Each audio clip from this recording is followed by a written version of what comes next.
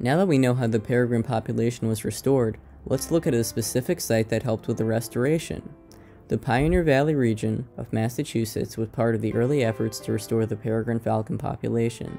Between 1976 and 1979, Mount Tom was one of the first release sites for captive bred peregrine falcons from the Peregrine Fund.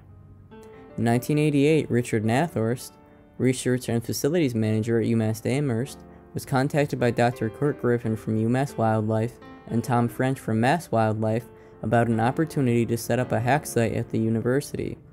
Nathorst persuaded the university to agree since having peregrine falcons around would eliminate the need for UMass Amherst to spend hundreds of thousands of dollars each year to clean up the large pigeon population on campus.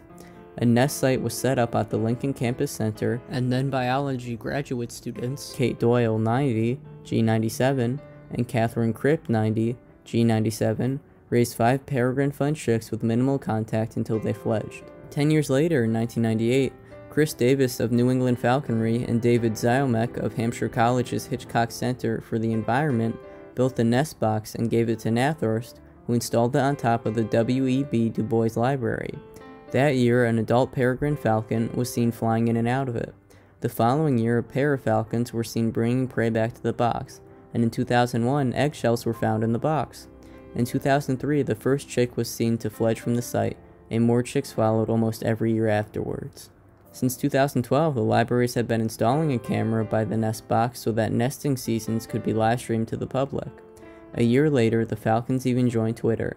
You can follow them at Du Bois Falcons for updates, photos, and even exchanges with their pen pals at UC Berkeley in California. That's right, in 2016, a pair of falcons started nesting at the Campanile at UC Berkeley.